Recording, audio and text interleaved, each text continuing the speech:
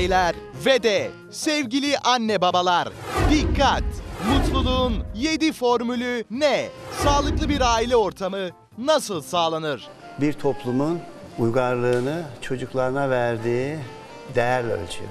Kadın erkek ilişkilerinde nerede hata yapılıyor? İlişkide affetmenin önemi nedir? Hangi ihanetler affedilir? Her zaman için güvenirim, beni seviyor. Biz aynı ekipteniz. Ona güveniyorsun. Hangi davranışlar ilişkilerde bıkkınlık ve soğukluğa neden olur? Gelin kayınvalide ilişkileri nasıl sağlamlaştırılır? Kadın doğuştan ilişki uzmanı olarak doğuyor. İlişkinin şeyi ne? Ee, ham maddesi konuşma, iletişim. Çocuklarda ödül ceza eğitimi nasıl olmalı? Yaramazlık yapan çocuklar nasıl sakinleştirilir? Boşanmanın etkisini çocuklara en az hissettirerek nasıl anlatabiliriz? Çocuğun çocuk olduğunu kabul ettiğin zaman sabredecek bir şey yok. Zaten biliyorsun çocuk. Psikolog yazar Doğan Cüceloğlu tüm sorularınızı canlı yayında cevaplıyor. Birazdan her şey dahilde.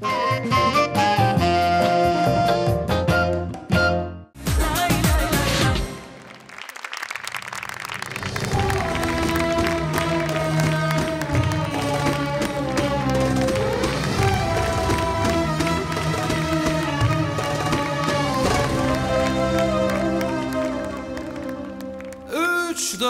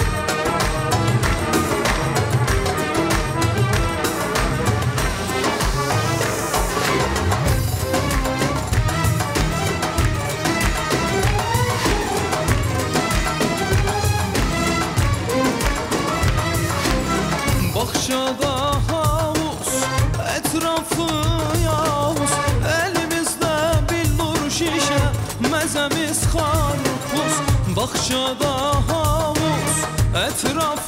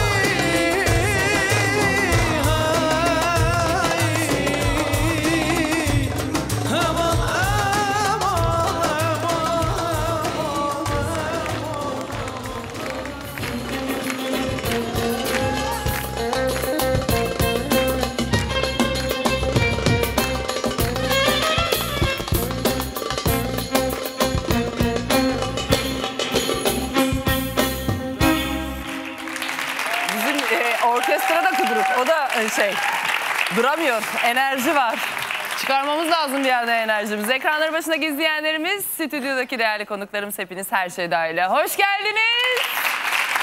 Çok güzel bir gün olsun inşallah. Pırıl pırıl bir gün olsun. Ne bileyim. Bugün herkesin başına istediği, istemediği, ne bileyim hayal ettiği en güzel şeyler gelsin inşallah. Bugün öyle bir gün olsun. Bugün öyle ilan ediyorum. Evet efendim bugün çok değerli bir konumuz var. Bugün Ali Şanssız sunacağım. Kendisini biraz pasifize etti şu anda. Niye bilmiyorum. Herhalde bugün keyfi yok. Lan ne rahat koltukmuş bu be. Yemin sen, ediyorum. sen niye ben oraya oturuyorum kalkamıyorum zannediyorsun? Hayır aynı parayı Ama alıyoruz sana- sen niye bu koltuğa oturuyorsun ben köşede oturuyorum onu anlamadım. İkimizin de reytingi aynı. Totalin aynı, AB'n aynı. Ya ne yapayım canım? Efendime söyleyeyim ABC'n aynı. ama yani Aldığımız para aynı. e, şey ama Birkaç tane advertörü benden fazla alıyorsun. birkaç tane derken He. Yani. Bana hiç gelmiyor Allah şükür.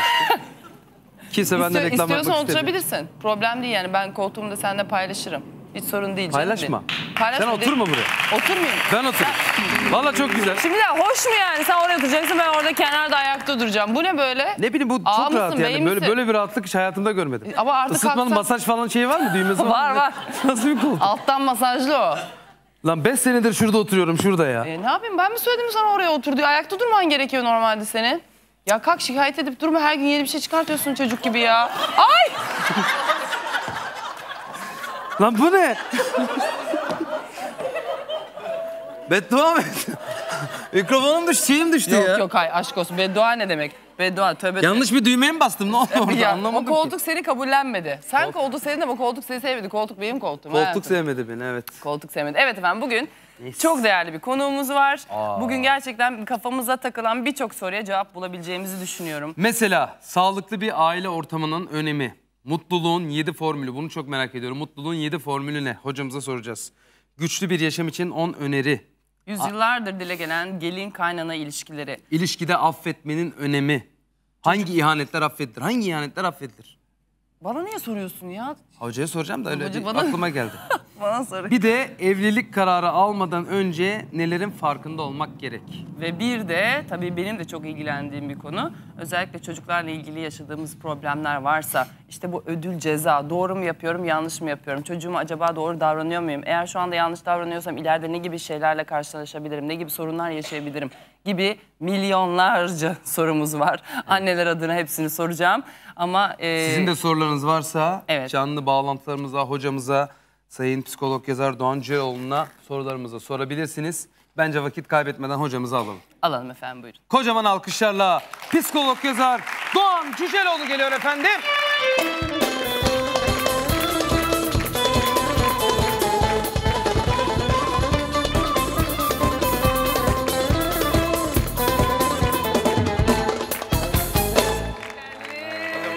Hoş bulduk. Buyurun.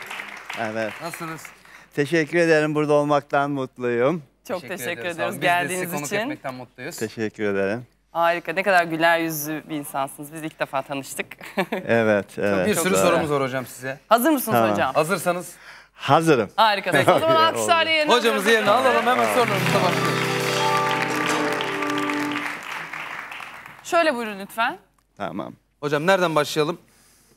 Gönlün nereye çekiyorsa. Nereye çekiyorsa. Biz aslında en çok isterseniz e, bu biraz önce de söylediğin gibi çok e, hep konuşulan, hep bir problemdir genelde aile ilişkilerinde. Gelin kaynana ilişkileri. Sizce yüzde oranına vurursak sizce daha çok hata kimden çıkıyor? Özellikle danışanlarınızdan mesela gelip de size işte ne bileyim kaynanasını şikayet eden veya gelip de gelinini şikayet eden nasıl çıkacağım bu işin içinden diyenler var mı çoğunlukta?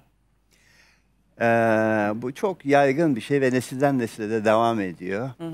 Ee, şunlara da karşılaşıyorum ama. Kendi annemden daha çok seviyorum kaynanamı diyenler de çıkıyor. Az da olsa diyorsunuz. Az da olsa ve aynı şekilde e, iki kızım vardı. Şimdi üç kızım var diyen e, Kayınvalideler de var. kayınvalideler de çıkıyor. Ve bunlar tabii bilinçli insanlar E, ve şunu da söyleyenler çıkıyor. Hocam ben kayınva- kayınvalidemden çok çektim, çok. Şimdi gelinimden çekiyorum. Ne olacak Aa. benim? diyenler de çıkıyor. Genelde problem nereden kaynaklanıyor? Aslında ne gibi hatalar yapıyorlar? Hem gelin tarafından hem kaynana tarafından. Aa, aslında sorun kaynana gelin sorunu değil. Aslında sorun sorun yaşama bakış sorunu. Kişinin kendi içerisindeki mutsuzluğu, eksikliği bir yere yansıtıyor. Kişi eğer saygı gör, görülmekte, değer verilmekte eksiklik varsa bunu gelininden görmek istiyor. Bütün o saygıyı, değer olmayı, güçlü olmayı hissedememiş kocasından, çevresinden şu veya bu şekilde. Acısını oradan mı çıkartıyorsun? Zayıf e, görüyor. Gelin zayıf olmalı, benim sözümü dinlemeli. Ondan dolayı despotça bir tavır içerisinde, böyle bir tavır içerisinde. Bunun farkına varan gelin çok güzel rol oynayabilir. Çok güzel yönetebilir. Akıllı bir gelin. Evet farkındaysa bu kadının zavallı ihtiyacı var buna. Ne olacak vereyim diyebilir. Ama zaten kendisi değer görmemiş ve evliliği değer görmek için o yuvayı kurmak isteyen birisi ya ben bunun için mi evlendim De diyebilir. diyebilir ve o zaman müthiş bir çatışma başlar. Fakat şunu görüyorum ben. Anasının babasının oğluyla anasının babasının kızı evlendiği zaman sorunlar çıkıyor. Değil mi? En büyük sorunlar orada. Yani birisinin evlenmeden önce bir şahsiyet olması, kendi seçimleriyle yaşayabilecek bir insan olması, kendi gözüne hesap verebilen bir insan olması çok önemli. Kız içinde, erkek içinde.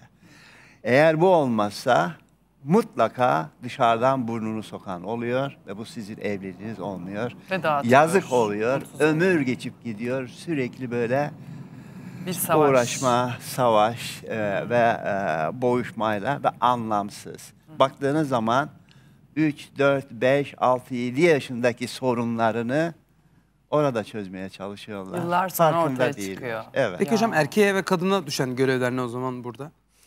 En önemlisi kendi aralarında yani kadın erkek olarak temel değerlerini keşfetmeleri. Hakkaniyet önemli mi? Gerçeğe saygı önemli mi? Sevgi önemli mi? Dürüstlük önemli mi? Birbirine hizmet etmek ve empati önemli mi? Bunlarla hemfikir olduğu zaman onlar bu aileyi, bu ilişkiyi bu değerler çerçevesinde yönetirler. Yani dışarıdan annesi, babası şu veya bu şekilde müdahale ettiği zaman diyebilir ki oğlu veya kızı ama haksızlık yapıyorsunuz. Burada hakkaniyet yok. Burada haklı olan bir durum varsa şu. İster annem ol, ister babam ol, ister eşim ol ama ben haklının tarafındayım diyebilmeli. Değerlerle yönetilen bir ortam olmalı. Bu çok önemli. Evet. evet. Ama bunu göremiyoruz. Ya da görmek mi istemiyoruz? Çünkü eee, şey yani nes- nesilden nesile aktarılan bir benim kullandığım bir kavram var. Önerilmiş cehalet var. Ben senin babanım diyor. Ben senin babanım deyince her şeye hakkım var anlamında bir şey söylemiş oluyor. Evet. Ve bu doğru değil. Yani ben kendimi Türkiye'de bu konuların anlaşılmasına, farkına varılmasına adamış birisiyim. Elimden geldiği kadar. Çünkü ben öyle bir ortamda büyüdüm ve çok acı çektim. Ya. Kendi evliliğimde farkında değildim ve bir Amerikalı ile evlendim. Canım yani Allah. kız o kadar masum bir şekilde ve ben kendimin kültür robotu olduğunu farkında değildim esas itibariyle. Anneniz kaynanalık yapmış mıydı? Ee, rah- annem rahmetlik Allah olmuştu rahmet ben eylesin. 10 yaşındayken ama ben Amerika'daydım yani e, bütün o kafamda her şeyi taşıdım oraya. Bir Türk kocası gibi olmak üzere. Cartlar, curtlar falanlar falan ama şaşırmış vaziyette. Evlenmeden önce ben farkında değildim ki söyleyeyim ben böyle birisiyim diye. Şimdi bu çok yaygın bir şekilde farkında olmadan aktarıyoruz böyle. Ve hayretler içerisinde fark ediyoruz. Kendi gerçeğimizi görüyoruz değil mi hocam aslında? Evet. Ben nasıl bir insanım ve bu kadına nasıl Aynen. davrandım Aynen. diye görüyoruz. Çok şükür görebildim ama Evet. Kendim acı çektim, Emily'ye acı çektirdim, çocuklara acı çektirdim. Şunun farkına vardım. Ya ben kötü bir insan değilim ama farkında değildim. Ben taklit etmeye çalışıyordum amcamı, dedemi, bilmem şu mu bu mu falan Bir Türk filan. erkeğini mi taklit etmeye çalışıyorsun? Aynen öyle işte kültür robotu bu. Farkında değilsiniz. Programlanmış vaziyettesiniz. Erkek adam böyle yürür, böyle bakar. Karı da böyle yapar. Gel lan buraya. Böyle yürür? Ben senin babanım lan. O zaman kültür robotu olmaktan insan olmaya fırsat bulamıyorsun. Kendimizi ifade İnsan evrensel. Evet doğru. Benim ülkem çok iyi insanlarla dolu. Fakat öğrenilmiş cehalet aktarılmış vaziyette. Abi şunu söyleyeceğim. Şimdi çocuk heyecanlanmış, bir şey görmüş. Önemli tanık kim? Babası. Diyor ki, baba büyük gemi geçiyor diyor. Şimdi baba o sırada bir süre konuşuyor. Tamam tamam diyor. Şimdi çocuk annesine dönüyor. Bunun gözümün önünde oldu bu. Büyük gemi geçiyor diyor. Annesi arkadaşıyla konuşuyor, dönüyor çocuğa. diyor. Dönüp bakmıyorlar. Arkada boğazda büyük gemi geçiyor. Çocuk çok heyecanlanmış. Babaya dönüyor yeniden. Büyük gemi geçiyor diyor. Babası duydum tamam diyor. Adam. Gözümün önünde oluyor bu. Ve bundan üniversite mezun olmuş, yüksek lisans almış. Şirketlerde direktörlük, müdürlük yapan insanlar. Beyaz yakalı yani dediğim anlatabiliyor muyum? Anneye dönüyor. Büyük gemi geçiyor. Çocuk çırpınıyor. Dört buçuk, beş yaşında bir çocuk. Annesi değil mi, değil mi dedi. Dönüp bakmıyor. Aslında ayıracağı 5 saniye değil mi orada hocam ya? Aynen. Beş Şimdi saniye. 5 saniye ama farkında olmak lazım. Şunun farkındayım. Bakıyorum ulan ben de böyle bir ortamda büyüdüm. Öyle bir ülkeyiz ki çocuğu adam yerine koymuyoruz. Fakat adam yerine koymadığımız bu çocuğun adam olmasını istiyoruz. Bekliyoruz. Hepimiz istiyoruz. Evet. Güzel Doğru. bir laftı. Allah güzel bir Yani bir de şimdi en nihayet çocuk döndü. Büyük gemi geçiyor, çırpınıyor. Şimdi çocuğun gözüyle bakıyorum. Bir insanın hayatında önemli bir olay olduğu zaman, düşün, çok önemli bir olay var. Kimseyle paylaşamazsan, o önemli olay zehir olur, seni sokar. Doğru mu? Evet. Bu çocuk kendisini var etmek istiyor. Babanın gözünde var olmak istiyor. Büyük gemi geçiyor diyor. O heyecanı. Baba farkında değil. Ve sus dedi. Kapa çeneni tamam mı? Sus. Sus. Bir de bizim meşhur cık cık cık yaptı. Baktım. Vay canım. Adama kızmak istiyorum kızamıyorum. Niye kızamıyorum? Adım gibi biliyorum. Bu adam bu çocuğunun uğruna gözünü kırpmadan hayatını tehlikeye atar. Evet. Atar değil mi? Atar, Atar. tabii ki atar. Şimdi bakıyorum ulan hayatımızı gözümüzü kırpmadan tehlikeye atacağımız çocuklarımızı adam yerine koymuyoruz. O kadar çelişkiler içerisindeyiz ki. Bunun farkında olmak çok önemli. Aslında hocam o şiddete yönelme, işte e, ne bileyim içe, içe kapanıklık, kimseyle bir şey paylaşama falan hepsi o zaman çocukluktan başlayan şey. Aynen, aynen. o zaman anne baba aynen. e, bunu, bunu yapıyor. Aynen öyle. Ve farkında. Türkiye'nin en önemli sorunu annelik, babalık yapmayı öğrenme sorunu. Buradan bunu söyleyebildiğim için o kadar mutluyum ki. Çok doğru hocam. Doğru ama. en önemli sorun. Doğru. Şimdi Burada bu kadar anne an- anne var burada. Hatta baba da var işte. Erkek izleyicimiz de var. Ha- hangimiz hocamızın dediği gibi çocuklarımızı alıp karşımıza onunla konuşabiliyoruz? Veya işte ya Kon- konuşan var mı? Ben konuşuyorum. Var mı mikrofon? Tamam, tamam. Var mı mesela hanımefendilerden? Ama mikrofonu verelim. Var tabii ki. Ama e, konuştuğum gibi çocuklarımda aynı şekilde karşılık görüyorum. Gerçekten Güzel. Bu ö- ö- önemli bir özen. Yani dediği gibi hocamızın da hani orada ona ayıracağımız onu gerçekten heyecanlandığını ve bizim de biz defalarca görmüş olabiliriz çok büyük bir gemi ama onun gördüğü heyecanı onunla paylaşmak belki 5-6 saniye ama onun heyecanı daha da pekiştirecektir ve ailesiyle bir gemiyle ilgili dahi olsa bir diyaloğa girmesi çocuğu aslında o anda mutlu kılacaktır. Değil mi hocam? Kesinlikle ve bunun farkında olmak. Ben işte bunu seminerde anlatırken şöyle yapıyorum. Bakın diyorum. Benim içimi ne yakıyordu? Ben nelerin farkındayım şimdi ki bu adam bilmiyor. Ben de farkında değildim. Ben de aynı şeyleri yaptım. Şimdi farkında olduğum şu. Bir, iki insan birbirinin farkına varınca iletişim başlar. Bunu bilmemiz lazım bir. Baba iletişim içinde olduğunu farkında değil. İkincisi, iletişim sürekli olursa ana baba çocuk, komşu, şu veya bu şekilde sürekli birbirinize öyle birbirinizin tanığı olmaya başlıyorsunuz. Çok önemli bu. İlişki başlıyor. Ve ilişkide de altı tane temel boyut işin içerisine geçiyor. Şimdi baba bu tavrıyla ne dedi çocuğa? Sen bana ait değilsin dedi. Ne dedi? Önemsizsin dedi. İlgilenmiyorum seninle. Seninle dedi. ilgilenmiyorum, değersizsin dedi. Evet. Sana güvenmem dedi, sevilmeye layık değilsin dedi. Çocuğun içi bildi bunu. Ne yaptı biliyor musun? O çocuk gözü açılan çocuk. Baba böyle sus sus deyince Ay kurban olur. Böyle durdu. Oturup ağlayacağım. Önce. İşte utanca boğulmuş iç çocuk. Ben içimizdeki çocuk diye bir kitap yazdım. Utanca boğulmuş iç çocuk. Abi görüyorsun adam şirketin genel müdürü olmuş, şirket kurmuş. Yüzüne bakıyorum gözünde utanca boğulmuş iç çocuk var. O mutsuzluğu parayla, malla, mülkle, mevkiyle gidermeye çalışıyor ama giderilmez. İmkansız değil mi? Önce bu iç çocuğa bir ulaşmak lazım. Böyle iç çocuğa baktığın zaman bazıları böyle merhaba der iç çocuk. Ben size derim mi? Bazılarına bakarsın çok bakma abi ağlarım ha tavır içerisinde. İç çocuk belli oluyor yani hemen. Ve yaşamın zenginliği o. O kadar mal, mülk, mevki sahibi insan gördüm ki ağlayasım geldi gözündeki fakirlikten. Fakir. Vay canım diyorum ya.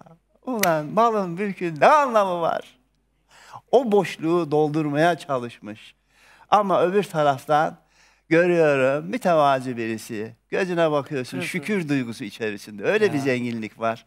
Şimdi düşünüyorum baba benim bildiğimin farkında olsaydı. Büyük gemi geçiyor. Ops dedi. Bizim oğlan heyecanlı. Bu uzun zaman devam etmez. 3-4 yıl sonra böyle ses duymayacağım ben. Evet. O Allah'ıma heyecanlanmayacak şükürler. Şimdi bunun farkındayım. Ne oldu oğlum? Büyük gemi geçiyor. Gözüne bakar. Şunun gözündeki heyecana bak der. Ya Rabbim çok şükür farkındayım. Ne büyük hediye değil mi o çocukların heyecanı? Öyle mi? Göster bakayım. Ha, büyük gemi geçiyor. Arkadaşlar bir dakika ya Hakan gösterdi bakın. Bakarlar. Oğlum teşekkür ederim. Çocuk ne aldı? Oğlum ben senin babanım. Sen benim oğlumsun. Sen değerlisin, önemlisin. Seni seviyorum. Sana güvenirim. İyi ki varsın. Çocuğun gözleri böyle pırıl pırıl olur. Bu çocuk yaşama döndüğü zaman der ki hey yaşam gel dans edeceğim, seni keşfedeceğim, ben yapabilirim duygusu içinde olur. O söylemiş olduğun eziklik olmaz. Bravo. Allah bravo. O zaman nasıl davranacaklar anne babalar çocuklarına? Şimdi burada çocuğun bir ihtiyacı var, tanıklık ihtiyacı var. İşte bu değerler çok önemli. Yani her şeyi çocuğun gönlüne göre yapmak diye bir şeyden bahsetmiyorum ben. Çocuk bilecek ki ben yanlış yaptığım zaman burada bir kriter var. Benim babam, annem, evladım biz seni o kadar çok seviyoruz ki senin yanlış yolda gelişmeni istemeyiz. Onun için seninle konuşacağız. Ben buna sohbet diyorum. Çocukla sohbet içinde olmak. Sana birisi yalan söylerse güvenebilir misin? Arkadaşın olabilir mi? Hayır. Unutma, güvenilecek bir insan olmak çok önemlidir. Çok önemlidir. Onun için biz bu ailede yalan söylemeyiz birbirimize. Zor da olsa doğruyu söyleriz, karşılaşırız. Böylelikle çocuk ailede kendine özgü bir sorumluluğu olduğunu, ağzına geldiği gibi konuşamadığını, istediğini yapamadığını bilir. Ama şunu bilir, beni seviyorlar benim geleceğim, benim mutlu olmam onlar için çok önemli. Bunu bildiği andan itibaren çiçek gibi gelişir. Olabileceğinin en iyisi olma yoluna gitmeye Bu başlar. konuşmayı, bu diyaloğu ve bu algıyı kaç yaşında bir çocuktan bekleyebiliriz? Emin ol, Kaç yaşından itibaren bekleyebiliriz mesela? Eee Çağla'cığım şimdi şunu söyleyeyim. Çocuk doğduktan 6 ay, özür dilerim 6 saat sonra iki tane sorunun cevabını beyin takip etme. Doğumdan 6 saat sonra. Bir, güvende miyim? İkincisi, kabul ediliyor muyum?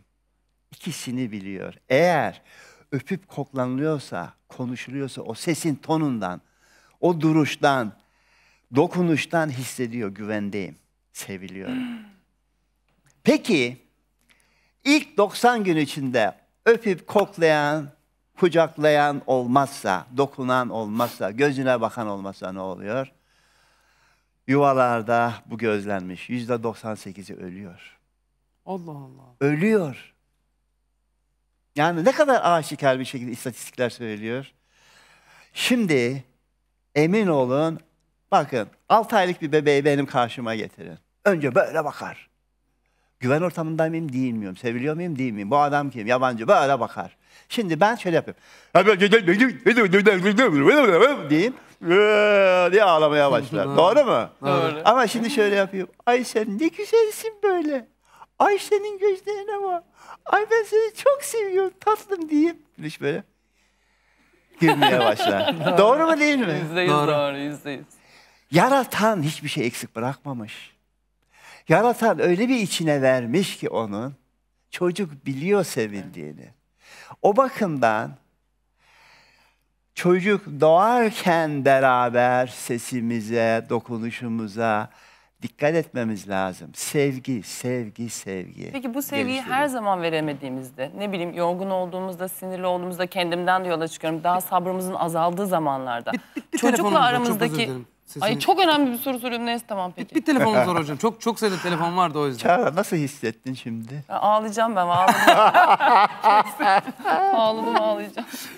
Hocam beni ciddiye almıyor, beni sevmiyor, benimle ilgilenmiyor. Önce Güven ama- duygusu yaratmıyor, seni partnerlikten gönderiyorum. Kendimi şu an 6 aylık bebek gibi hissediyorum şu anda. Alişan'ın önceliği başka yerde değil mi? Ha, Evet yani. Benim önceliğim izleyicimiz olduğu için. Tamam peki.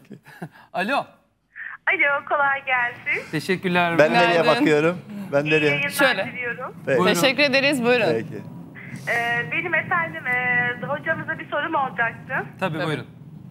Benim bir buçuk yaşında bir oğlum, dört buçuk yaşında bir oğlum var. Maşallah. Allah ne bağışlasın. güzel. Amin. Ee, dört buçuk yaşındaki oğlum çok kıskanıyor kardeşini. Şiddet uyguluyor. Bana aynı şekilde çok şiddet uyguluyor. İşte çok kıskanıyor. Oyuncaklarını falan fırlatıyor. Ama bunu en çok baba geldiği zaman daha çok şiddetleniyor. Hmm. Evet. Evet. Hani babası e, yokken o kadar fazla değil. Ondan sonra, ama babası geldikten sonra çok bambaşka bir çocuk oluyor. Canım. Evet. Tabii. Ee, beni e, beni sevmiyorsunuz falan diye e, şey yapıyor, sözler söylüyor. Hocam. İşte ben bu kardeşi istemiyorum. Neden kardeş getirdiniz? İşte nereden getirdiyseniz oraya götürün. Ben asla bunu evde istemiyorum, kabul etmiyorum Çok falan klasik diyor. hocam? Evet. Ee, her dediğini de aslında yapıyoruz. Her istediğini, her söylediği, her şeyini yapıyoruz. Ama ona rağmen de hiç mutlu olmuyor. Evet. Bu genel bir Özellikle sorun. Her dediğini yapmak da aslında problem yapıyor. oluyor. Evet, evet. Evet. Dinleyelim Özellikle baba hocamızı. geldiği zaman yapıyor. Tamam. Ee, önce sizin sesinizden anladığım kadarıyla mutlu bir insansınız ve esas itibariyle mutlu bir ailesiniz. Çok şükür. Çok önemli Türkiye Evet. için mutlu aileler. Şimdi eee, ben bazı kitaplar getirdim bıraktım. Şunu da söyleyeyim. Çağlacığım bunu sana getirdim. Çok teşekkür ediyorum. Çok Bunu kıymetli, da sana sağ olun. getirdim. Teşekkür ederim. Evet. eee, gerçek özgürlük, Gerçek özgürlük. başarıya götüren aile. Bu deminki söylemiş olduğum altı boyutu bahsediyorum. Şimdi çocuk doğdu. Önce anne yüzde yüz ona aitti. Baba yüzde yüz ona Tabii ya. Doğumdan önce bir hazırlık dönemi var ama ne kadar hazırlarsanız hazırlayın netice itibariyle doğum yapmış bir anda gayet tabii küçük çocukla daha çok ilgilenecek. O sırada babanın evvelden almaya devreye girmesi lazım. Büyükle daha fazla ilgilenmesi lazım. Evet ve e, bilinçli bir şekilde daha çok zaman vermesi lazım ve konuşması lazım ve bazı kararlara büyüyü de katmak lazım. Ee, şimdi bugün benim çok değerli bir arkadaşımın e, eşi doğum yapıyor. İnşallah bir kızları olacak. Hayırlısı olsun. Teşekkür ederim ve onlar bu hazırlığı yaptılar. Mesela küçük çocuğa ismini abisi verecek. Ee, ve henüz daha karar verilmedi yani bir sürü şeyler var. Ayrıca baba onunla devreye girmeye başladı. Beraber bir şeyler yapmaya başladı. Gittikçe annenin yükünü aldı ilişkide. Şimdi çocuk tepkide bulunuyorsa bu varoluşun altı boyutunda, tanıklık boyutunda bazı şeyler eksilmeye başladı demek. Misafirler gelir. Anne baba çok iyi anlamış olsa da misafirler gelir. Ay yeni bebeği görelim, ay canım bilmem ne. Halbuki iki ay önce geldiklerinde ilk o çocuğa yöneliyorlardı. İlk büyük çocuğa yöneliyorlardı. Şimdi ellerinde olmadan Bebeğe. ve canım o köşede böyle bekler. Birisi de onun farkına varsın. Bilmem ne diye. Ama hıncın annesinden babasından alır ve küçükten alır. Çocuktan Çünkü alacak. e, o bilemez ne olduğunu. Dışarıda kalmış gibi hissediyor. Bunun bilincinde olarak giden misafirler de yani daha misafirler gelirken biliyorsunuz abimiz biraz hassas şimdi. Gelince ilk önce ona hatta onun için bir şeyler getirip hadi hazırlamak lazım. Tamam mı? Ay seni çok özledim bilmem ne öptüm öptüm. Kardeşin olmuş gel beni tanıştırsana kardeşimle. Hep onu devreye sokmak lazım. Tabii. Anlatabildim mi? Onun değerinin yitmediğini hissettirme, yitirmediğimizi ona karşı duyduğumuz değeri Aynen, hissettirmek aynen. lazım. Evet. Senin pozisyon sağlam hiç korkma. Evet, çünkü hocam neden biliyor musunuz? Bunu insan yaşamadan anlamıyor. Biz de geçen gün bir Altungil'ine gittik. Yeni bir bebek doğmuş işte buğday, e, dış buğdayına gittik. Yine orada da işte 4-5 yaşında şimdi e, izleyeceğiz ileriki zamanlarda. Bir çocuk vardı. Şimdi ben aynı şeyi yaşadığım için bebeği gördüm. Aa canım sen ne kadar yakışıklı bir çocuksun deyip ona döndüm direkt.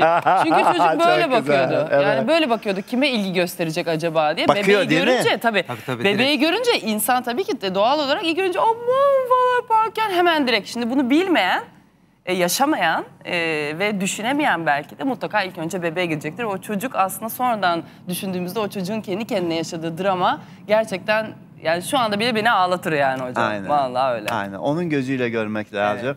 Çok şükür kızgınlığını ifade edebiliyor size. Çok şükür derdini Evet, ifade tabii, edebiliyor. tabii. Çünkü şu da olabiliyor. İçine de kapanıp, Kapandı. gittikçe küskünleşip, içine kapanıp küskünleşip köşeye çekildiğinin dahi farkına varmayan ana babalar oluyor. Sevinelim hocam oyuncak fırlatıyor diye bence. Evet, Tepkidir. evet. Tepkidir yani. Aynen öyle. Demek ki sağlıklı. Mücadeleyi bırakmamış. Ama onunla zaman geçirmek lazım. Ve e, böyle mış gibi değil. Hakikaten e, oturup göz göze konuşarak nasıl geçti oğlum bugün? Hı? Nasıl geçti? Nasıl geçecek işte bilmem ne falan filan. Ve ona hiç nasihat etmeden hmm, öyle mi? Bir şey anlatmak istiyorum. Ben üniversitede profesörüm Amerika'da. Bir öğrencim var. Çok hanımefendi. Senin gibi çok güzel Teşekkür ve çok iyi bir öğrenci. Ve dikkatimi çekiyor. Sonra anası babasıyla tanışmak istedim. Ve 3 saatlik araba sürüş mesafesi, araba sürüş mesafesinde hakikaten gittik. ve babası demiş ki madem hocan aileyle tanışmak istiyor, abinin evine gel. Orada çocuklar var. Ee, ailece daha bol şekilde tanışalım. Gittik. İki şey dikkatimi çekti. Bir, ee, şimdi öğrencimin babası aynı zamanda dede. Hmm. Dört yaşındaki bir torunuyla konuşuyor. Otomatikman torun hizasına indi. Tabii. Göz göze geldiler. Böyle canım benim yerim seni gibi bir tavır içinde yok. Bayağı ciddi alıyor. Öyle mi oldu? Hmm, peki sen ne dedin? Aha anladım evet. Peki onlar ne dedi? Sohbet ediyorlar. Düşündüm ulan ben psikoloji profesörüm aklım ucuna gelmedi. Çocuklarımı hiç izah edemedim. Öğrenciye döndüm dedim ki Mary baban sadece torunlarına mı böyle yapıyor? Yoksa sizi de küçükken böyle yapıyor muydu? Bizim ailede gelenek budur dedi. Çocukla konuşurken hizasına inilir Hizasına dedi. inilir, evet. Adam yerine koyma. Tepeden Şimdi- bağırmama yani sürekli değil mi? Tepeden Evet. üstten veya konuşurken ona aşağıda şey yapmam. Ben hep inerim hatta böyle omuzlarından tutup gözlerine bakıp Çok önemli. konuştururum. Tebrik ederim. Çok önemli. Hızımı alamadım adama sordum ki adam da bir banka şube müdürü emeklisi. Yani öyle psikoloji alakası olan birisi diye. Dedim beyefendi torun hizasına iniyorsunuz dedim. Adam da benim psikoloji profesörü olduğumu biliyor. Biraz, biraz tuhaf baktı böyle. O küçük insan dedi. Evet. Büyük insan, küçük insan, Evet. insan insana konuşuyoruz. Aha. Bir ikinci gözlemim oldu. Şunun farkına vardım. O ailede Mary'nin abisinin dört tane çocuğu var. En küçüğü bu dört yaşındaki. Bir gelenek var. Her hafta sonu baba sırası gelen çocukla cumartesi günü saat 1 ile 5 arasında 4 saat baş başa zaman geçiriyor. Çok önemli. Evet. Çok önemli. Sırası gelen çocukla. Bu İkisi bir arada değil yani değil mi? Hayır ailece değil. Baş başa baba Baş başa. sırası gelen çocukla bu hafta o 4 yaşındakiyle saat 1 ile 5 arasında. Bir telefon geldi. Güney Kore'den bir iş adamı gelmiş. Bir buçuk saatlik bir konuşma, bir şey istiyor böyle. Kabul etmedi. Vay be. Helal. Etmedi. Çocuğumla Abi görüşmem var. ha. değerler bu. Önceliklerini doğru, bileceksin. doğru. O kadar çabuk büyüyorlar ki dedi. 14-15 yaşından sonra ben yalvarıyorum beraber zaman geçirelim diye. O bir buçuk Onlar saat kabul- kaçırmak istemedi. o değil bir mi? buçuk. Evet. O dedi yani Cumhurbaşkanı telefon etse bana sorarım bu milli milli mesele, Mesele mi? mi? Değilse kabul etmem. Ve ailede öncelikler meselesi çok önemli. Evet. İyi ki çocuk bence söylüyor. Ben buradayım diyor. Ben değerliyim diyor. Mücadelesini veriyor. Saygı olmak lazım. İletişim donanımları kitabını okumanızı tavsiye ederim lütfen. Bir telefonumuz daha var hocam. Evet. Tamam. Alo. Günaydın. Sen unutmuyorsun değil mi sorunu? Çok o kadar çok var ki çok kafam karıştı. Şu an çok şey sormak istiyorum. Günaydın. Günaydın. Günaydın. Merhabalar buyurun efendim sorunuzu alabiliriz hocamıza. Merhabalar, iyi yayınlar. Teşekkürler. Ol. Ee, Ben 5 yaşını bitirmiş bir kızım var. Yeni 6 yaşına girdi. E, ve biz e, 17 yıldan sonra kızımıza kavuştuk. Ama e, erkek kardeşimin e, çocuğu doğar doğmaz aldık biz büyüttük. Ben bunun için e, e, sürekli olarak e, uzmanlara ya da rehberlik uzmanlarına kendim de eğitimci olduğum için danıştım. Ne zaman söylemeliyiz e, konusunu. Ve birçok farklı yanıtlar aldığım için ben Doğan Bey'i yakından takip ediyorum. Çok beğeniyorum e, fikirlerini, kitaplarını. O yüzden bir de Doğan Hocama sormak istiyorum. Yani ne zaman uygun olur? 6-7 yaş mı? E, ya da bunu ben psikolog ortamında mı söylemeliyim? Ev ortamında mı söylemeliyim? E, bu konuda aydınlatırsa sevinirim. Çok teşekkür ederim. Ee, Ben teşekkür ederim. önce e, besbelli ki seven, değer veren bir insansınız. Onu gözlediğimi belirteyim ben. Burada önemli olan ne biliyor musunuz? Biyolojik annelik babalık var. Bir de gönülden sevgi annelik babalığı var. Şimdi çocuk küçükken hikayeler anlatabilirsiniz. Bir küçük tavşan kaybolmuş olabilir ormanda.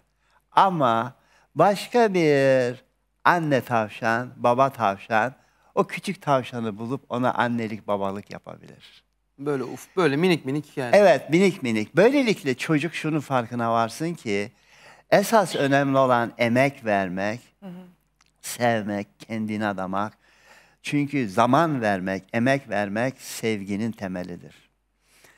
Ve bunu hazırladıktan sonra, devam ettikten sonra böyle öykülerle falan eee, o psikoloji ortamı veya şu ve o şekilde değil. Öyle bir ilişki kurarsınız ki doğal olarak şunu görür. Esas annem babam sizsiniz ama biyolojik kökenim farklıymış. Ve şu da oluyor bazen işte Almanya'ya gidiyor aile, şu oluyor, bu oluyor falan. Ve çocuklarını bir yaşında, bir buçuk yaşında işte büyük anneye bırakıyorlar e, bilmem ne. O çocuk o büyük annenin yanında büyürken onu anne olarak kabul ediyor. Dedeyi anne, baba olarak kabul ediyor. Ve sonradan herhangi bir şekilde işte yaşam son bulduğunda kendi annesinden babasından daha çok etkileniyor. Yani onun kaybından dolayı. Psikolojik olarak zaten siz onun ilişkisini kurmaya başlamışsınız. Bu önemli olan sizin sevginizi açık seçik ifade ederek onun için gayret etmeniz, göstermeniz, hikayeler anlatarak bu iki farklı annelik babalığın altyapısını oluşturmaya başlayın. Genellikle 7 yani 6, 7, 8 yaş arasında hiç bir doğal ortamda diyebilirsiniz. Tatlım e, ben senin biyolojik annen değilim. Ama sen benim gönlümün, kalbimin çocuğusun.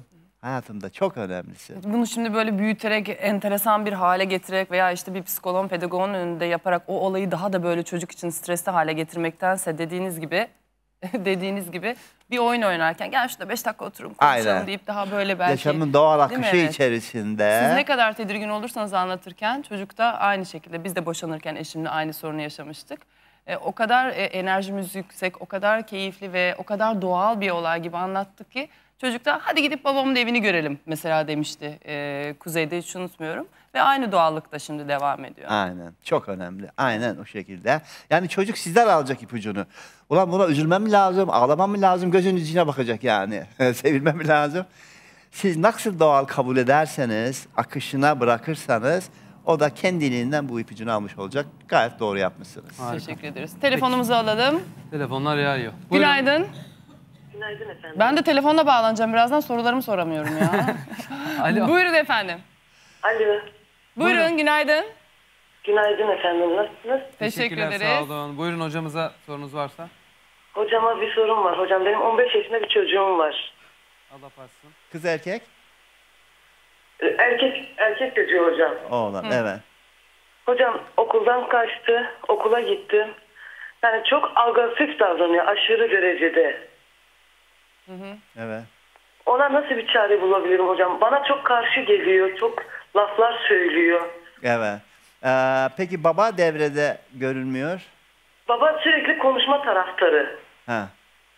Anladım. Çocukla konuşma. Evet. Şimdi teşekkür ederim bunu sorduğunuz için. Ee, üç dört tane temel faktör var burada. Bir, ergen çocuk ergenlikte ne oluyor konusuna bir bakalım. Şimdi bebek doğdu.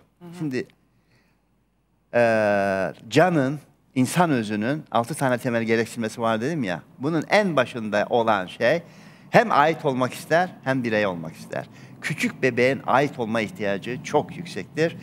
Öpüp koklanılmazsa ilk üç ay içerisinde yüzde 98'i ölür demiştim.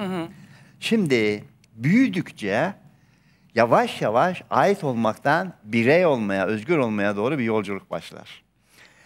Çocuk ilk adımlarını atmaya başladığında eminim e, sizin de başınızdan geçmiştir. Elini tutmaya kalk, "Ö" der, "Ö" der. Ben Bırak, yürüyeceğim. der. bırak. Bırak, ben yürüyeceğim der. Bırakırsınız, yürür. Ve döner bir de bakar, nasılım? Çok coşkuludur. Ama o yürürken, hele bir yabancı ortamdaysa, siz bir ağacın arkasına, perdenin arkasına saklanın. O yürürken dönüp baksın sizi göremezsin, yürümeye devam etmez. Arar, bulamazsa Ağlar. ağlar. Çocuğun dediğine çok aşikar şunu diyor. Elimi tutma ama orada dur bana bak diyor. Beni boğma. Böyle tut yani. Ben diyor hem birey olmak istiyorum hem de ait olmak istiyorum. Bakın bu çok önemli. Hem birey olmak istiyoruz hem ait olmak istiyoruz. Karı koca ilişkisinde bunun dengesini bulamazsa mutluluk olmaz. Çok önemli bu. Çok önemli bir şeyden bahsediyorum. Şimdi çocuk ergenliğe doğru gittikçe eğer ait olma çok baskın bir ortamdan geliyorsa köfteni ye, güne giy, üşüşsün giy, şunu yap, bunu yap falan filan o ergenliğe daha şiddetli girer. Yeter der ya, yeter. Baskı gör. Ne kadar yiyeceğim ben bilirim. Nereye gideceğim ben bilirim. Ne söyleyeceğim ben bilirim. Yeter be. İsyan. İşten boşlar. Burada öyle Ama- bir şey var. Şimdi onun için ilk parametre bu. Bunu söylemek istiyorum. Yani evvelden sürekli yönetilmiş, her şeyine karışılmış bir çocuk bir de korku ortamındaysa kendi olarak bir şeyler yapmaya seçer fakat dırdırdan, zırıltıdan kurtulmak için yalan söyler. Okula gittim der. Evet. Gittim gittim konuşmak istemiyorum der falan filan. Şimdi ama aynı zamanda da ait olmak ister. Onun için sevilmek ister. Güvenilmek ister. Yani annesi babasının tanıklığı çok önemlidir. O zaman Nasıl değiştirebilir bu durumu birazcık da olsa? Ne ya da artık hocam? belki geç kalınmış bir durum olsa da şu an neler yapabilir? Çağla'cığım şimdi eee, iki tane temel faktör var. Dış disiplin korkutarak yaparsın. İç disiplin kendi gözüne hesap veren insan haline gelmek meselesi var. Korkutarak yaptığın zaman ki ben korku kültürü diye bir kitap yazdım. Şunu görürsün. Korkulacak kişi ortadan kaybolunca zıvanadan çıkar. Nasıl ki benim toplumumda polis olmadığı zaman her altı yiyoruz trafikte. Evet doğru. Polis gördüğümüz zaman. polis görünce disipline giriyor. bu, bu ayıp. Ama iç disiplin kendi gözüne hesap verirsin. Aynada baktığın zaman gözüne ulan sana saygım var, onurlu bir insansın diyebilmek meselesi çok önemli. Onun için dış disipline gitmemek lazım. İç disiplini nasıl sağlayacağız hocam? Ailedeki değerlerle. İç disiplini nasıl sağlayacağı sorusu gençlerin evlenmeden önce birbirleriyle konuşması gereken bir soru biliyor musun? Evet evlilik öncesi de aslında bazı şeylerin Evet. farkındalığını yaşamak. Tabii yani bu karı koca ilişkisinde de. Güvenin temelinde var. Şimdi onun için babanın dediği doğru. Çocukla sohbet içerisine girdiğin zaman ben seni güvenilecek bir insan olarak görüyorum.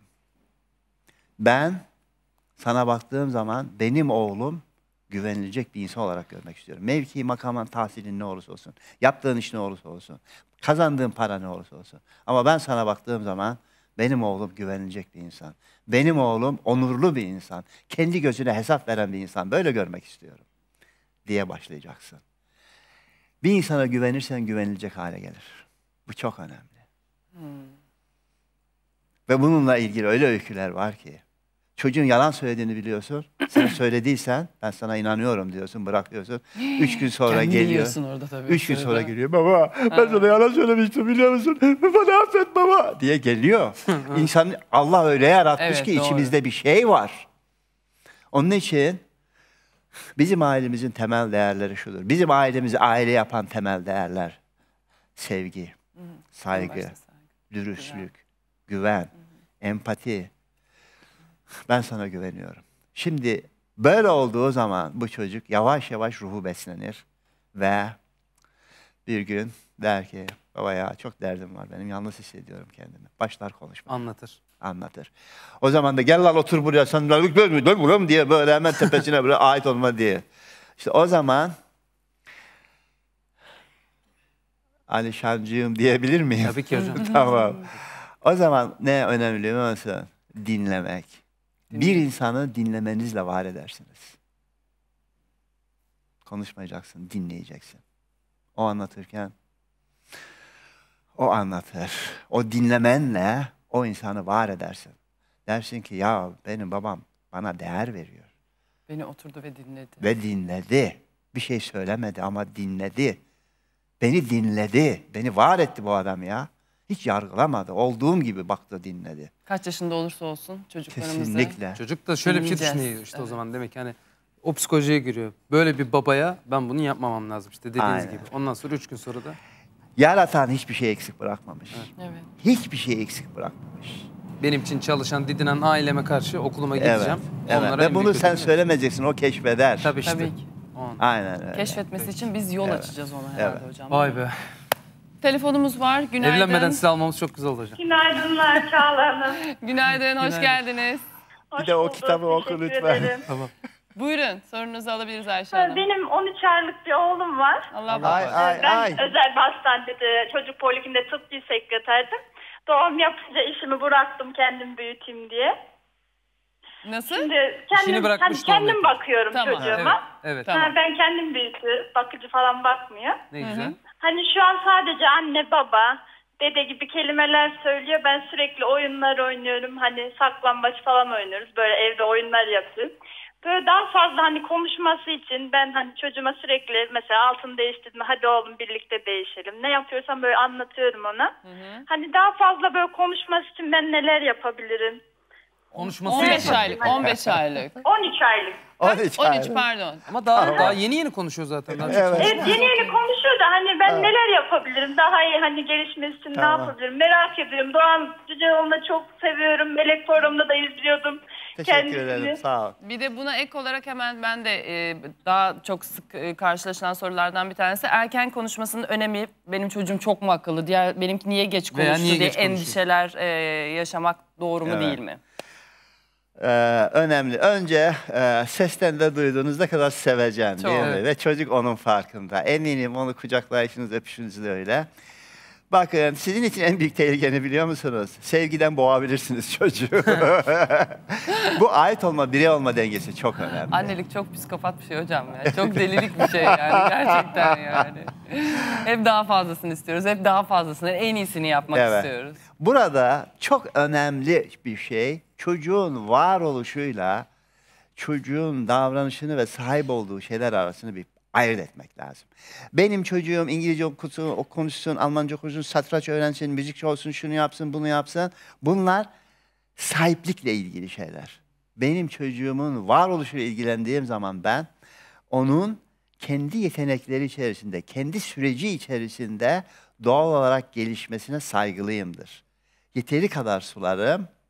Çünkü çok sulamakla biliyorsunuz çiçeği öldürür. Evet. Yeteri kadar güneşi bulur. Gerisini sevgiyle gözlerim. O kendi kendine gelişmeye başlar. Aynen çiftçilik gibidir ana babalık. Tamam mı? Ne ekersen onu biçersin. Evet de bir de bakımını bilmen lazım. Çok fazla bulamayacaksın. Çok fazla su vermeyeceksin. Her birinin kendine özgü yeteri kadar bir şeyi vardır değil mi? Burada lütfen sen sevmeye devam et. Daha fazla kelime öğrenmesi, konuşmasıyla ilgili olarak sen kendin kitap oku, şiir oku, onun yanında paylaş. O kısmeti Alacak. kadar alır. Evet. Kısmeti kadar alır. Sen güzel Türkçe konuşursan Ona güzel Türkçe öğretmene gerek yok. O güzel Türkçe konuşur. Sen sevecen bir insan olursan, kimseyi ötekileştirmezsen, dedikodu yapmazsan, ilişkilerde hep iyi yönleri görürsen, göreceksin o da aynen öyle olur. Öğretmene gerek yok. Sen sevecen bir insansın, güzel bir insansın, onu görüyorum. Olmaya devam et. Çocukla ilgili kaygını bırak. Çocuğu bir yarış, yarış falan Evet. içine sokmamak lazım. Çocuğun efendim şunun gibi, bunun gibi falan olması meselesi yok. Önemli olan çocuğun kendisi gibi olması, kendi yaşamında kendisi olarak var olması çok önemli. Mutluluğun kaynağı bu. Ondan dolayı Ay o kadar mutluyum burada olmaktan. Ay vallahi ben Vallahi o hocam, kadar ben de bir mutluyum ki şu an anlatamayacağım yani. Gerçekten yani biz de hissediyoruz ve çok çok mutluyuz. Şuraya uzanıp anlatmak Yemin istiyorum hocam. ben. Çocukluğuma inin yani. Neler yaşamıştım diye. Alişan. İçimde kaygı vardı. Ulan dedim acaba bütün bu konularda iyi. Ama gözlerine bakıyorum Hocam, böyle su içer gibi bakıyorsun. Evet. O kadar mutluyum. Siz o kadar güzel ol. anlatıyorsunuz ki hocam. O kadar böyle anlayarak, annesin yani o kadar güzel takip ediyorsun Tek ki. ilgi alanım benim zaten hocam bu mutluyum. yani. Tamam. çok teşekkür Çok ederiz önemli. gerçekten. Şimdi bakın kendi yaşamında kendi olarak var olmaya saygılı olmak çok önemli. İşin kriteri bu. Ee, bir şey anlatabilir miyim burada? Tabii. Telefonumuz var isterseniz bekletebiliriz. Siz nasıl istiyorsanız. O telefonda bekleyenler için de faydalı bu. Tamam. Bekleyin tamam hocam. lütfen. Tamam. Az sonra size Tamam. bağlanacağız. Buyurun. İlkokul 4. Sınıfa girdim. Çocuklar dedim burası sıfır. Hiç kendi yaşamınızda yoksunuz. Kendiniz gibi değilsiniz. İlgilenmiyorsunuz anlatılan, yapılan şeylerle. Öf be, bıktım, sıkıldım diyorsunuz. Kapıyı kapatsalar pencereden kaçmak istiyorsunuz. Çocuklar beni anlıyor musunuz dedim.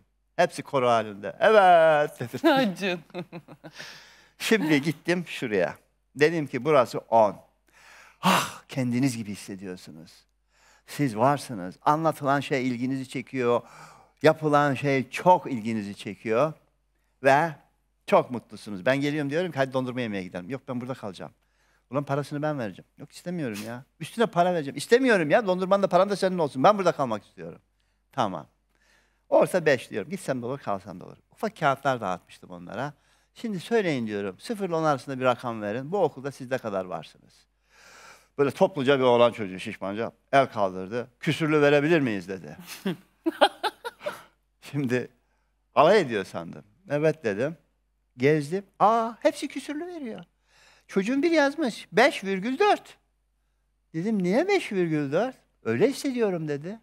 Yani böyle sanki termometre var. Bakıyor yazıyor çocuk. Enteresan. Öğleden sonra ortaokula ikiye girdim. Ölçek 100 oldu. 0, 100, 50.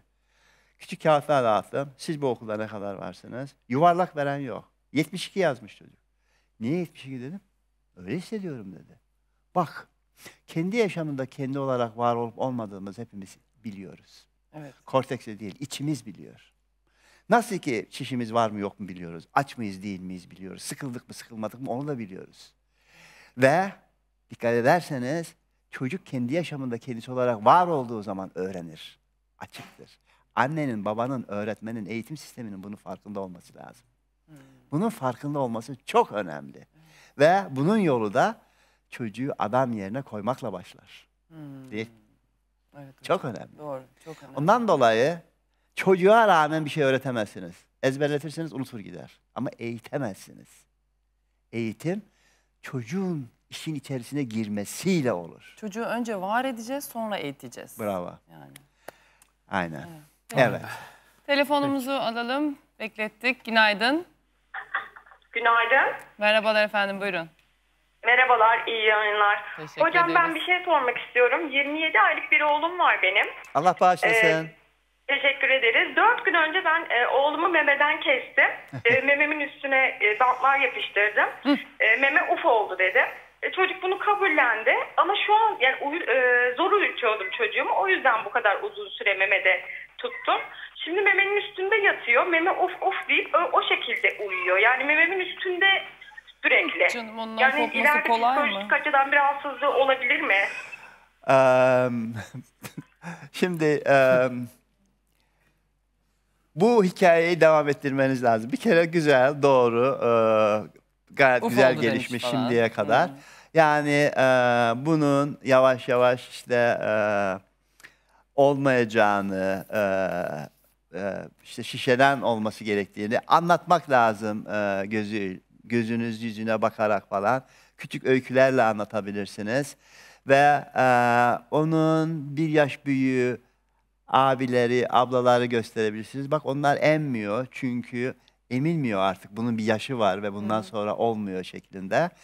İlişkiniz çok iyi. O ilişkiyi kırmayın. Ama yavaş yavaş çocuğun farkına varması lazım ki e, anne emmenin belirli bir e, dönemi var. Ondan sonra yaşam başka bir aşamaya geçiyor. Bunu sevgiyle anlatırsınız. Anlatmaya devam edersiniz. O üzülecek, ağlayacak, babam diyecek. O zaman yapacağınız şu. Anlama falan değil. Sevgi yine sevgi. Yine anlıyorum, doğru. Ben de senin yerinde olsam üzülürüm. Çok iyi anlıyorum diyerek ama davranışınızı değiştirmeden devam Kararlı bir edeceksiniz. şekilde. Kararlı bir şekilde devam edeceksiniz. Evet, bir arkadaşım diyor ki kıskanıyordum diyor anneyle ilişkisini diyor. Çocuğum diyor ben hiç diyor ben Eşi mi? ne biçim- Eşi mi söylüyor? Evet evet. Ama diyor eşim diyor artık süt yok yavrum bilmem ne olunca diyor. Meme. yok oğlum meme yok. Meme. yok oğlum artık süt gelmiyor. Döndü diyor baba diye bir atladı bana diyor. ya çok güzel.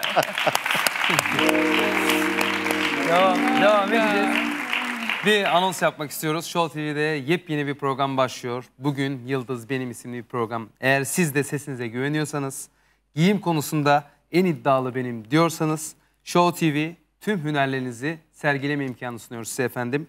Yeni başlayacak olan yarışma programı Bugün Yıldız Benim çok yakında Show TV ekranlarında olacak ve başvurularınız için adresimiz www.showtv.com.tr adresinden başvurularınızı yapabilirsiniz. Buradan da duyurmuş olalım. Şimdi devam edelim hocam isterseniz ben soruma geliyorum. Şimdi benim sorum unut, unutmadım valla. e, aslında e, kaba taslak olarak sorum şu. Şimdi e, maddi anlamda sormuyorum. Manevi anlamda çocuğa ne kadar verici olacağız? Mesela ben çok veren bir anneyim. Kuaföre giderim yanımda götürürüm. İşte ne bileyim hayvanat bahçesine götürürüm. Oraya götürürüm buraya götürürüm. Ha, ne istiyorsa yaparım. Yürüyüşe çıkarım, spora götürürüm. İşte aikido ister, kayak ister, tenise gider. Ne bileyim öbürü işte bilmem ne ister. Yok pasta yapalım, yok kurabiye yapalım. Yani bu anlatamayacağım kadar çok şey var yaptığımız. Ve mutlaka her gün bugün ne yapmak istiyorsunuz? Bunu mu istiyorsunuz? Bunu mu istiyorsunuz? Haydi bakalım gidiyoruz. Biz de böyle. Mesela program da yaparız. Bu hafta sonu buraya gideceğiz. Şu hafta sonu şuraya gideceğiz. Bu akşam bir doğum günü partisi var işte oraya gideceğiz. Gelin hep beraber hediye alalım falan filan. Çocuk o kadar çok şey yapıyor ki bazen e, ona o doğum günü partisine gitmesinin veya gittiğimiz bir yerin artık o kadar da çok mutluluk vermediğini hissettiğim zamanlar oluyor. Sonra ben bunu birazcık aza indirgiyorum. Bugün evdeyiz. Hiçbir şey yapmıyoruz. Ama anne ne olur bir pasta yapalım. Bak mozaik pasta yapalım. Peki oğlum yapalım. Hadi mozaik pasta yapıyoruz. Çünkü çok iki erkek çocuk olduğu için de inanılmaz hareketliler. Ve ben bu harekete, kendi hayatımda yaşadığım harekete onları da soktum. Evet. Ve şimdi bazen gerçekten e, eskiden çok şeydi mesela sürekli ya bir liralık bir araba bile olsa dışarı çıktığımızda anne falan tamam oğlum bir lira hani çok pahalı bir şey değil bunu alabiliriz bu seni mutlu edecekse falan böyleydim. Şimdi artık anlaşmamız var dışarı çıkıyoruz gezeceğiz eğleneceğiz yemek yiyeceğiz e, etrafa bakabiliriz vitrinlere bakabiliriz ama hediye asla almak yok diye bunu konuştuk bunu kararlaştırdık. Peki anne bana ne zaman hediye alacaksın? Hangi şartta bana hediye alacaksın? Doğum günün olduğunda veya işte ne bileyim özel bir durum olduğunda alacağım mesela diyorum. Ve çok mutlu bir çocuk olduğunda seni evindeki oyuncaklarınla milyonlarca sahip olduğun oyuncağınla mutlu olduğunu gördüğüm zaman alacağım diyorum. Ertesi gün ben bugün çok mutluyum. "A- Anneciğim öyle değil ama hani falan diye böyle anlatmaya çalışıyorum. Benim en çok tıkandığım konu burada. Ne Anladım. yapmam lazım? Şimdi iki tane önemli konu var. Ben sonuncusundan başlayacağım. Kaç yaşlarındalar şimdi? 3-5. 3 3 ve 5 Evet. yaşında. Ha, 3 yaş için bu dediğim olmaz ama 5 yaşında başlayabilirsin. Ee, önce başımdan geçen bir olay anlatayım. Şimdi benim eşim Amerikalı. Ve ben eee 4 yıl çocuklarımdan ayrı kaldım. Çok acı çektim. Ee, sonra Amerika'ya gittim çocuklarıma babalık yapmak için. Ee, şimdi oğlum Timur 6 yaşında. Baba bana bisiklet al dedi. Zaten geberiyorum suçluktan. Tamam oğlum alayım dedim. Hmm. Ondan sonra eee, ve eee, bir hafta sonra eee, geldiğimde annesiyle konuşmuş. Emil dedi ki Timur'a bisiklet alacak mısın dedi. Evet dedim. Yarı parasını o versin dedi. Dedim ya çocuk 6 yaşında. Olsun dedi. Ona dedi e, ne bileyim iki buçuk dolar sen veriyorsun, iki buçuk dolar ben veriyorum. Onun 5 dolarlık harçlığı var dedi her hafta dedi. E, biriktirsin dedi, yarı parasını o versin dedi. Dedim ya bunun bir bildiği var herhalde. Çocuk geldi. Baba bisiklet alacağız değil mi dedi. Evet alacağız oğlum ama yarı parasını sen vereceksin dedim. Annemle mi konuştun dedim. Çok güzel ya. Şimdi evet dedim. Şimdi gittik. 180 dolarlık bisiklet e, kırmızı böyle. Baba bunu istiyorum dedi. Tamam oğlum dedim ama dedim 14 hafta harçlık alamayacaksın. Baba gezelim dedi. 30 dolarlık bisiklete razı oldu. Ona da kredi açtık. Nasıl gözü gibi bakıyor. Ay çok güzel. Şimdi orada gelenek haline gelmiş eğitimli anneler babalar 5 yaşından itibaren çocuğa haftalık veriyorlar. Şimdi e, ve bu haftalık o çocuğun içinde yaşadığı ortama göre değişiyor ama böyle makul bir şey oluyor. Onu harcamadan önce sadece bilgi veriyor. Şunu alacağım diyor. Anne baba pek karışmıyor. Genellikle olan şu. Bu başlandığı zaman ilk bir iki hafta çocuk ilk çıkışta pf, harcayıp bitiriyor. Evet. Sonra anne baba diyor. Harçlığını bekleyeceksin deniyor. Ve yavaş yavaş çocuk 6. 7. haftada başlıyor. Bunu alayım mı, almayayım mı? Düşüncesi. Aa şurada bir şey var, çok istiyorum. Bunun için 4 hafta biriktirmem lazım. Biriktirmeye başlıyor. Hedef koyma, değer verme, öncelikler koyma öğrenmeye başlıyor. Çok önemli. Mutlaka 5 yaşındakini Tamam. siz e, onunla konuşursunuz böyle belli bir haftalığa geçirmeye Kumbaramız var. başlarsınız. Ee, onun biriktirdiği para var ama anneanne 3 veriyor, babaanne 5 veriyor böyle. O kumbara şu an ağzına kadar dolu. Mesela istediği bir araba varsa oradan bir parça para alıp onunla beraber gidip onun parasıyla mı almalıyız? Aynen öyle ve ayrıca annenle inşallah bizi dinliyorlardır. Onlar Dinliyorlardır, da dinliyorlardır. bu o, şeyin parçası olması lazım. Evet, genel Bilerek, evet. ailece buna katılmalı. Böylelikle biriktirme, öncelikler, çok önemli önceliklerin farkına varma. Çünkü zaman kısıtlı, para kısıtlı, her şey kısıtlı dünyada. Önceliği neye vereceğim ben? O konusunda düşünmeye başlıyor kendine göre. Peki o biriktirdiği paradan kardeşine oyuncak almalı mı? Kendi Ona bağlı. biriktiği Ona para- bağlı. Ya istemezse, ya istemezse ona vermek. Bu benim param, ben biriktirdim derse. Bence hakkıdır. E o zaman neden kardeşime alıyorsun, neden bana almıyorsun, ben para biriktirip alıyorum derse? Çünkü kardeşin 3 yaşında, 5 yaşından itibaren O da olacak. geçecek. Evet ama kardeşinize aldığınızla, ona alınanla onun yani mutlaka dengesini kurun öyle bir şekilde. Ee, ve deyin ki alabilir miyiz tatlım? Senin için bir sorun olacak mı? Yani o da bir söz sahibi olsun. Hayır almayın dese ama üzülecek biliyorsun. Üzülsün. Almayın hakikaten üzülsün. O zaman durur falan bir anne ben yanlış yapmışım diyebilir. Yani bu, bu şekilde e, Düşünüp onu biraz kendine baş başa bırakmak kesinlikle gerekiyor. ve böylelikle onun denetimi altında olan bir bütçenin olması kavramına alıştırmak lazım. Kendi denetimi altında. Yaş ilerledikçe bu bütçe büyür. Bu çok önemli bence. Evet. Ee, bir Buna de başlayabilirim. Bir de hocam o dediğim çok ha, gezdirme, ettirme, ilgilenme konusunun zararı var mı? Bu ait olma birey olma dengesinde ait olma fazla olmuş gördüğüm kadarıyla. Yani hep seninle beraber falan. Onun için Evet. onun kendi yaşıtında ve kendi akranlarıyla geçirebilecekleri zaman konusunda biraz daha fazla zaman vermek lazım. Mesela okulda çok geçiriyorlar arkadaşlarıyla beraber bahçeye çıkıyorlar oyun anaokuluna gittikleri için. Tamam. Yani orada vakit geçiriyorlar. Vakit geçiriyorlar ama onun dışında yani hep seninle olma yerine o okul dışında kendilerinin e, böyle başka bir şeyler yapma, diğer çocuklar olabilir, okul arkadaşlar da olmayabilir. Bir şeyler yapması meselesi. Yani mut, tabii bu da şu da var. Yani hakikaten sen çok meşgul birisisin. Yeteri kadar zaman vermeye olabilirsin yani netice itibariyle. Ee, ondan dolayı kendine göre bir zaman ayır. Yani iki saat, e, haftada şu kadar Ben saat falan hafta içi şeklinde. her gün dörtten yatana kadar benimle beraberler. Dört buçuktan dokuza kadar. İkisi Yani de. şunu da görmeliler. e, o dörtten yatana kadar olan zamanda senin kendine ait. Sırf kendi zevkinle ilgili yapman gereken bir şeyler olduğunu da görebilmeliler. Sen ne bileyim ben... e, Ben mesela kuaför benim gitmem gerekiyorsa alıyorum onları da götürüyorum. Güzel. istiyorlarsa. İstiyorlar bensiz olmak istemiyorlar. Her şeyi Çok- benle yapmak Bu çok istiyorlar. güzel bence. Ay çok güzel bir şey zarar var mı yani sonrasında bir Yok. problem olur mu? Çok Kesinlikle düşkünüz. zarar yok. Kafandalar onlar yıkıyorlar mesela şampuanın başına geçiyorlar kuaförle beraber benim saçımı onlar yıkıyorlar mesela. Gayet güzel. Bunlar emin iyi. ol 3 4 5 yıl sonra sen yalvarsan yapmazlar. Onun için tadını çıkar. Tamam. Resimlerini çektir, koy bir yere. aynen, evet aynen. öyle bir şekilde. Yani bu onlara e, o kadar güzel bir altyapı veriyor ki kök diyorum ben buna. Yaşamın kökleri çocuklukta atılır. Şimdi bol bol kökleri atıyorlar. İleride büyüdükleri zaman deprem olduğunda, şu olduğunda o kökler Ne sağlam olunca sağlamsa. tutacak onu. Kasırga, şu bu yıkılmazlar. Harika. Evet. Ay çok teşekkür Telefonumuz var hocam. Günaydın. Günaydın. Buyurun efendim Buyurun. merhabalar Selma Hanım. Doktor Bey'le görüşecektim. Tabii buyurun. Buyurun. Doğan Bey iyi günler.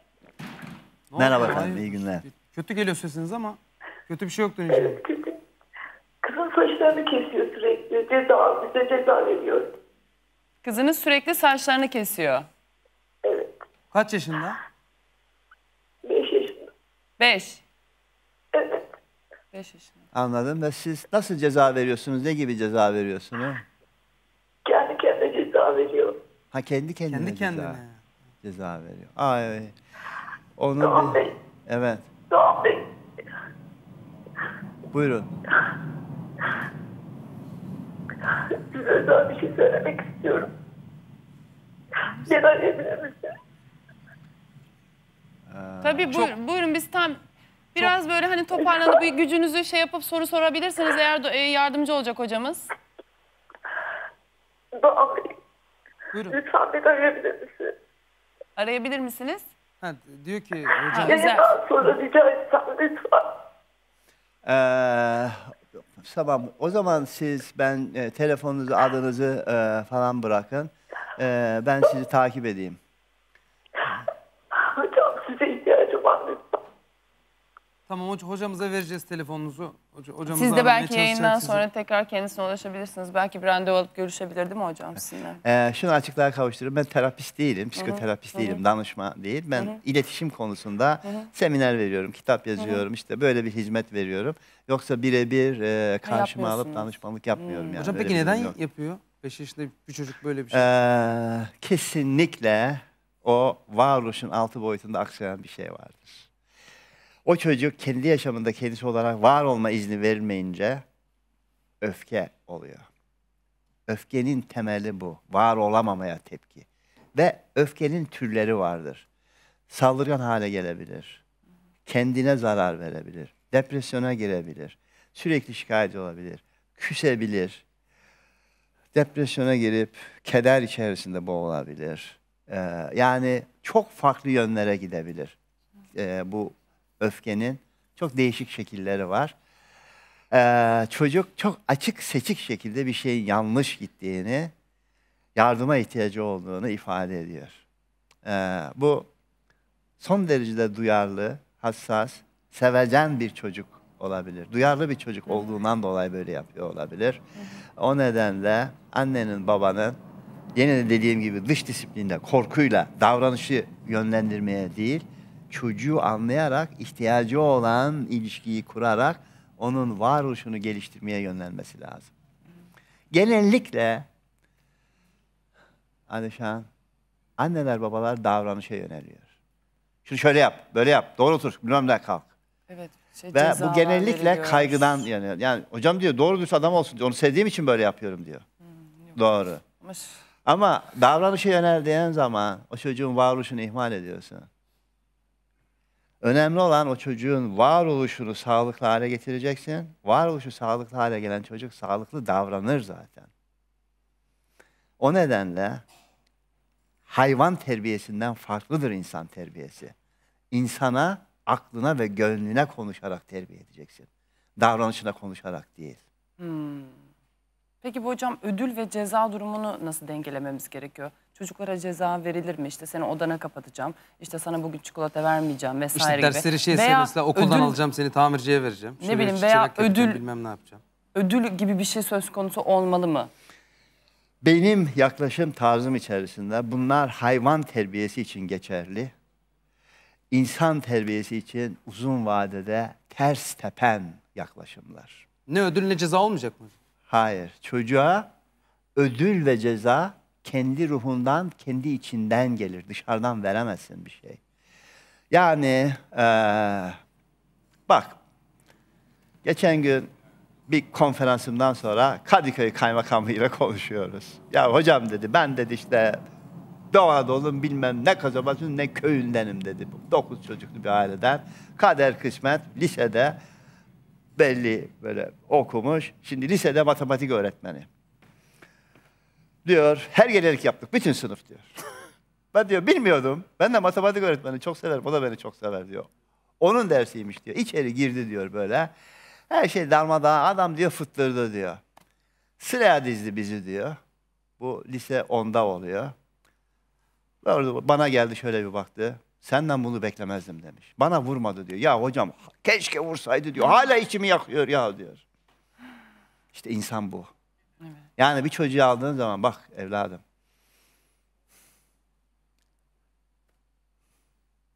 Sen benim oğlumsun.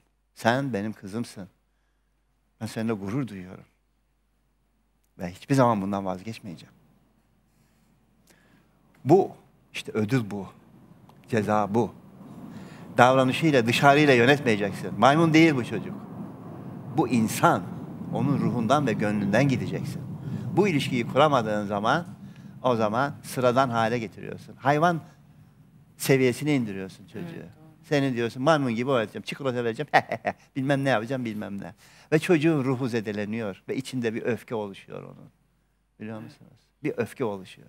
İnsana insan gibi muamele etmek lazım. Biz insanız. Bu çok önemli. O nedenle ödül ve ceza o gönül ilişkisinden geçen bir şey.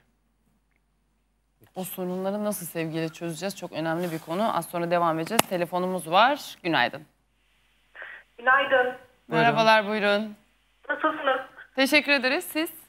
İyiyim ben de çok sağ olun.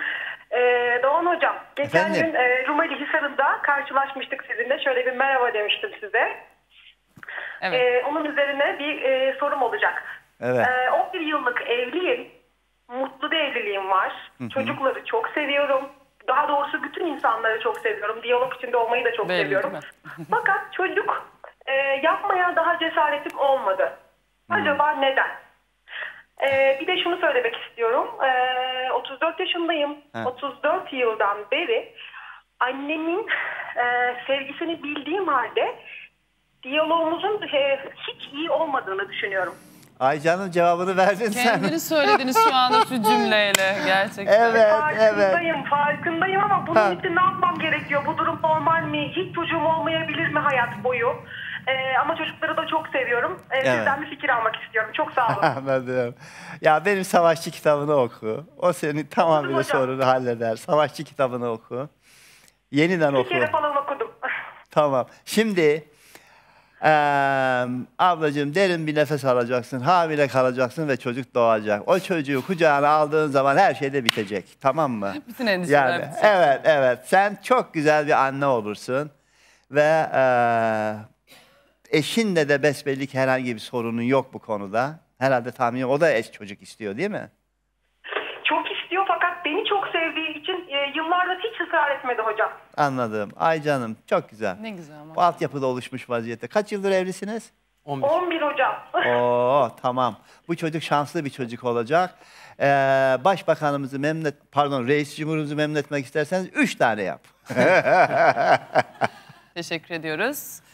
Hocam devam edelim isterseniz. Çok Ee, çok az bir süremiz kaldı ama hocam. Bence genel kaldı. bir şey bir şeyler şey yapalım. Ne Tamam. kadar kaldı Tabii ki? bir yani reklama az kaldı. Öyle mi? Peki. Evet. Genel bir Evet. değerlendirme yapabiliriz. Şimdi o zaman şöyle bir şey söylemek istiyorum ben. Benim ülkemin insanları iyi insanlar. Fakat biz e, şu gözlemi yapayım. 1972'ye kadar Türkçe'de iletişim kelimesi yoktu. Hiç üzerine düşünmedik. Yoktu. 1970'lerde başladı bu tartışma. Murat Belge, Doğan Cüceloğlu, Selahattin Ertürk, Aydın Köksal. Konuşa konuşa 1972'de iletişim kelimesi tedavüle girdi. Önerilerden bir tanesi Murat Bey'e, bir tanesi Selahattin Ökü, bir tanesi benim. Neden yoktu iletişim kelimesi Türkçe'de? Çünkü bireyin önemi yoktu. Bireyin önemi olmayınca da bireyin duygu ve düşüncelerini aktarma önemli olmuyor. Onunla ilgili bir kelime yoktu. Ama İngilizce'de vardı. Yüzlerce yıldır vardı. Şimdi Türkiye toplum bireyin önemli olduğunu keşfetme süreci içerisinde. İnşallah sürat, süratle anneler babalar çocuğu adam yerine koyma ve iletişimin önemli olduğunu anlama durumunda olacaklar. Demek istediğimiz şu. Şimdi bir seminer veriyorum. Adam 90 dakika bana böyle baktı. Ara verdik 15 dakika. Herkese dedim arkadaşlar burada sigara içmeyin. Bu 96'da oluyor bu. içeride sigara içiliyordu. Dedim sigara içmeyin lütfen dışarıda için sigaranızı. Beyefendi dedim. Adam da o şirketin genel müdürü. Bir dakika kalır mısınız dedim. Gittim. Sizden ricam var bana küfreder misiniz dedim. Estağfurullah dedim. Rica ediyorum dedim. Olur mu efendim dedi. Dedim beyefendi yüzüme bakarak Doğan Cüceloğlu Allah senin belanı versin. Ne münasebet dedi. Dedim ki beyefendi yüzünüz alasını söylüyor. Şöyle baka kaldı. Sonra hafif bir gülümseme geldi yüzüne. Dedi ya bizim oğlan da bundan şikayetçidir. İçime geldi ama söylemedim. Bir de hanımefendiye sorun. Bakın bu adam farkında değil. Benim ülkem iletişim konusunda farkında olmayan insanlarla dolu. İyi insanlarız. İyi insanlarız ama olgun insan iletişim içinde olduğunun farkında olan insandır. Aldığı mesajın, verdiği mesajın farkında olan insandır. Bu çok önemli. O zaman sizin içinizdekini dışarıya vurma imkanı oluyor. Adam böyle bakıyor gelirken sokakta. Ama farkında değil yani değil mi Değil. hocam? Şimdi mesela böyle bakıyor böyle. o duyguları yarattığının farkında değil. Ee, adamın yaşına göre hayırlı sabahlar diyor. Birden de hayırlı sabahlar efendim diyor. Böyle canı gönülden söylüyor. Ama alışmamışız. Halbuki biz bu toplumda birbirimizin tanığıyız. Onun için mutlaka bir insanı gördüğümüz zaman nasıl bir mesaj veriyorumun farkında olmamız lazım. Onun için dinimiz ne demiş? Selam vermek sünnet, verilen selamı almak farz demiş. Evet. Çok önemli. Bu çok önemli bir bilinç. Ve bunun farkında olmak lazım. İletişim de oradan başlıyor. Aynen öyle. Aynen öyle. Bunun altını çizmek istedim. Bu çok önemli. İçeriye giriyorsun. Kadın içeride mutfakta tıngır tıngır bir şey yapıyor mu? Kapıyı kapattın.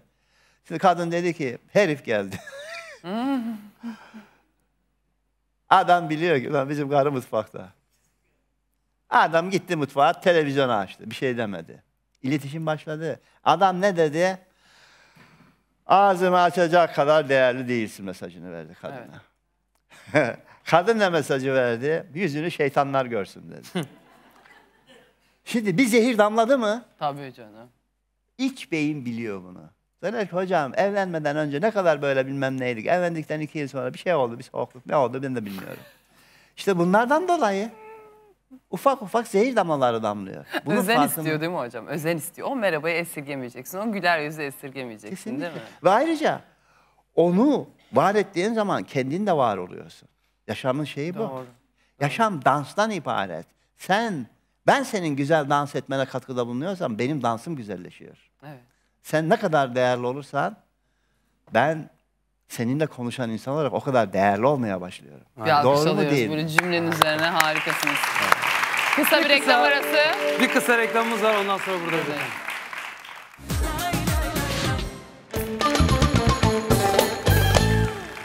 Bence bugün her şey dahilde kendi açımdan belki de seyirci ve ekran başındaki izleyicilerimiz adına konuşabilirim diye düşünüyorum. Başka bir hava yaşandı bugün stüdyoda sayenizde. Başka duygulara gittik.